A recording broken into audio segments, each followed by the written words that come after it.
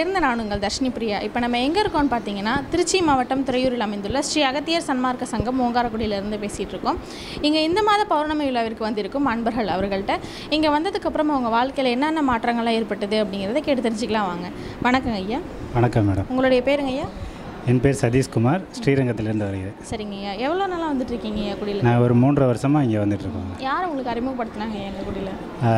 கவனகர் அப்படிங்கிறவங்க அறிமுகப்படுத்தினாங்க. சரிங்க ஐயா.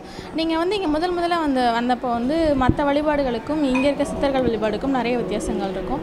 இங்கே வந்தப்போ அதை உங்களால் ஏற்றுக்க முடிஞ்சிச்சிங்களா? இங்கே வர்றதுக்கு முன்னாடி உண்மையை சொல்லணுன்னா நான் ஒரு கடவுள் நம்பிக்கை இல்லாதவன். கடவுளுங்கிறத பெருசாக வழிபடுற ஒரு எண்ணம் இல்லாதவன். அந்த கவனகர் அப்படிங்கிறவங்க மூலியமாக ஐயா பற்றி தெரிஞ்சவொன்னே சரி இங்கே எப்படி ஒரு மகான் வாழ்கிறதா சொல்கிறாங்க இது வரைக்கும் நம்ம பார்த்தது கிடையாது. சரி போய் பார்த்தா புண்ணியங்கிறாங்க. சரி போவோம் அப்படின்ட்டு ஐயாவை பார்க்க வந்தோம். வந்ததுக்கப்புறம் பல மாற்றங்கள் எங்கள் வாழ்க்கையில் நடந்தது. ஸோ என்னை பார்த்து என் ஃபேமிலியே மாறுற அளவுக்கு. எங்கள் வீட்டில் அம்மாலாம் எல்லாருமே கடவுள் பக்தி இருந்தாலும் ஸோ உண்மையான பக்தி மார்க்கமுக்கு ஐயா மூலியமாக என் மூலியமாக என் குடும்பத்தில் அக்காவாக இருக்கட்டும் அக்கா வீட்டுக்காரங்களாக இருக்கட்டும் எல்லோரும் நிறையா மாற்றங்கள் வந்தது. எல்லோரும் சைவம் மாறினாங்க. இன்றைக்கி குடும்பமே சைவமாக இருக்கிறோம். ரெண்டாவது மெயினாக சொல்ல விரும்புகிறது எனக்கு ரெண்டாவது பையன் பிறந்தான். அந்த பையன் வந்து முதல் ப குழந்த வந்து சிசேரியனில் பிறந்தாங்க. ரெண்டாவது பையன் பிறக்கும்போது சிசேரியன் வேணாம் நார்மல் டெலிவரி வேணும் அப்படின்னு ஐயாட்ட வேண்டிக்கிட்டோம். ஐயாட்ட நேர்லேயும் கேட்டோம் ஆசி உண்டுன்னாங்க. நாங்கள் ஆஸ்பத்திரிகளில் அப்ரோச் பண்ணும்போது என்ன சொன்னாங்கன்னா இல்லை ஃபஸ்ட்டு சிசேரியன்னா ரெண்டாவது நார்மல் பண்ண மாட்டாங்க. சிசேரியன் தானே. டாக்டர்ஸ் கூட கைவிட்டுட்டாங்க. ஆனால் என் மனைவி ஏதோ ஒரு ஐயா மேலே உள்ள நம்பிக்கை அப்புறம் ஒரு சில அறிவுகள் அவங்களுக்கு கிடைக்கப்பட்டுச்சு ஐயா மூலியமாக ஸோ எப்படி நார்மலாக வீட்டிலையே சுகப்பிரசவம் பெற்றுக்கலாங்கிற ஒரு ஐடியா அவங்களுக்கு கிடச்சிச்சு.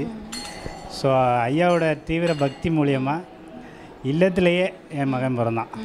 வீட்டிலேயே பிறந்தான். Cesarean தான் பண்ணுவோம்னு சிசேரியன் பண்ண பண்ண வேண்டிய ஒரு சூழ்நிலை போய் ஒரு காசு செலவு இல்லாமல் வீட்டிலேயே பிறந்தான்.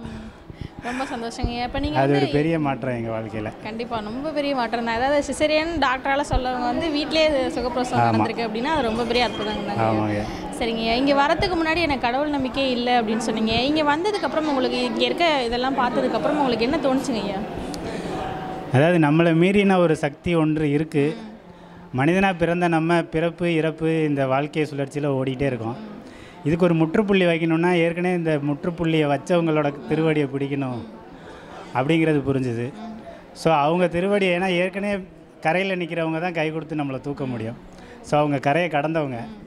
அவங்கள பிடிச்சிட்டா நம்மளும் கரையை கடந்துடலாங்கிற ஒரு முழு தெளிவு இங்கே கிடச்சிது. கண்டிப்பாங்க ஐயா. இப்போ வந்து இங்கே ஐயா நடத்துகிற அன்னதானம் இருக்கும். பல பலாயிரம் கோடி மக்களுக்கு வந்து ஐயா வந்து அன்னதானம் விட்டுட்டு வராங்க. அதை பற்றி நீங்கள் என்ன நினைக்கிறீங்க ஐயா? அதை பற்றி சொல்லணுன்னா ஐயா சொல்கிறது தான். தானமும் தவமும் தான் செய்வாராகில் வானவர் நாடு வழி திறந்திடுமே. ஸோ அப்போ இந்த தானம்ங்கிற ஒன்றை தான் முதல்ல சொல்கிறாங்க தவத்தை கூட அப்புறம் தான் சொல்கிறாங்க ஸோ இது எந்த அளவுக்கு தான பலம் பண்ணுறோமோ அந்த அளவுக்கு தவமும் நமக்கு வாய்க்கும். எல்லாமே அதை பொறுத்து தான். ஒருத்தருக்கு புண்ணிய பலம் என்னன்னு தான் ஐயா கேட்குறாங்க என்ன உன் புண்ணியம் இருக்குன்னு தான் கேட்குறாங்க நம்ம என்ன தான் பக்தியில் இருந்தாலும் பல ஞானிகளோட திருவடியை உருகி உருகி தியானித்தாலும் புண்ணியம் உனக்கு என்ன இருக்குன்னு தான் கேட்குறாங்க ஸோ உருகி தியானிக்கும் போது புண்ணியங்கிறதும் பெருகும் பணங்கிறது வரும். அதை வச்சு மேற்கொண்டு நம்மளோட தானத்தை மேற்- மேற்படுத்திக்கிட்டு நிச்சயம் ஞானிகள் அடைஞ்ச வழியை நம்மளும் அடைவோம். அது வந்து ஐயா கொடுக்குற ஒரு நம்பிக்கை.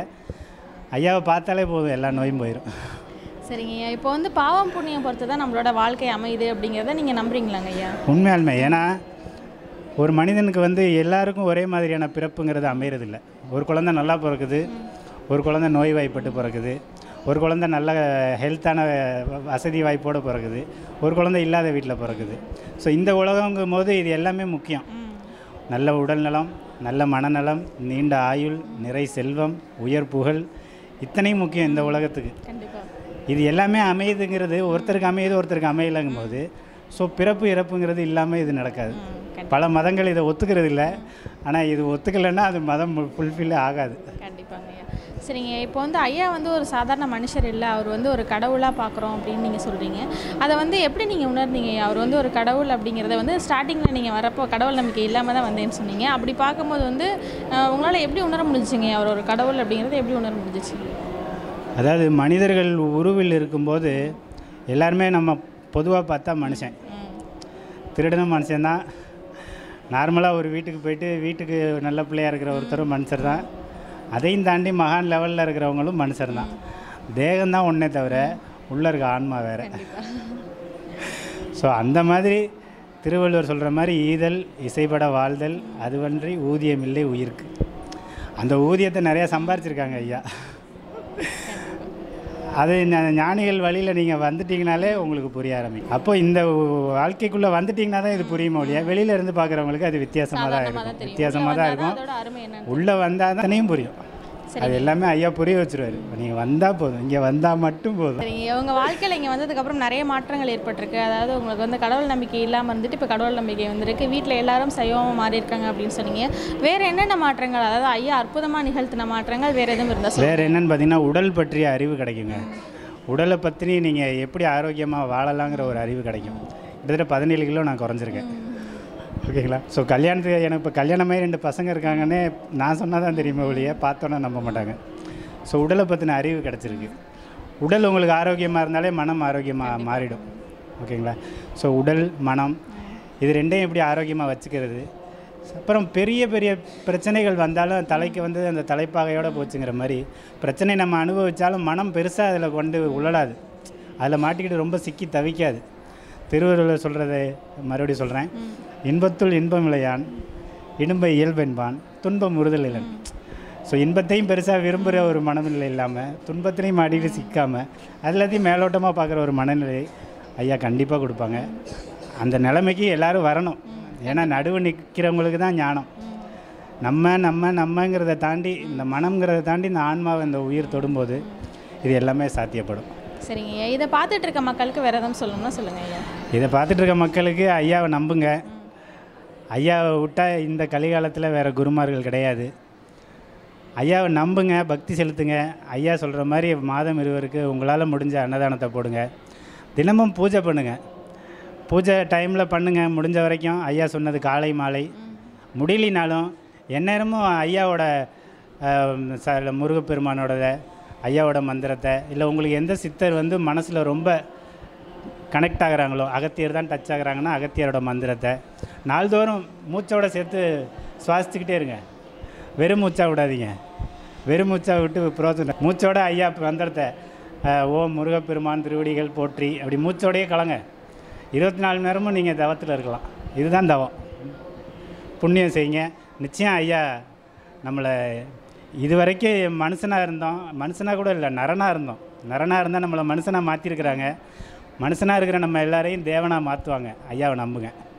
ரொம்ப நன்றி. இது வரைக்கும் நம்ம அன்பர் வந்து அவர் வந்து இங்கே வரப்போ வந்து கடவுள் நம்பிக்கை இல்லாமல் வந்தார். அவர்கிட்ட இவ்வளோ மாற்றம் அப்படின்னா அது ஐயாவோட கருணைன்னே சொல்லலாம். நம்ம அன்பருக்கு அரங்க டிவி சார்பாக நன்றிகளை தெரிவிச்சுக்கிறோம். ரொம்ப நன்றிங்க ஐயா. ரொம்ப நன்றி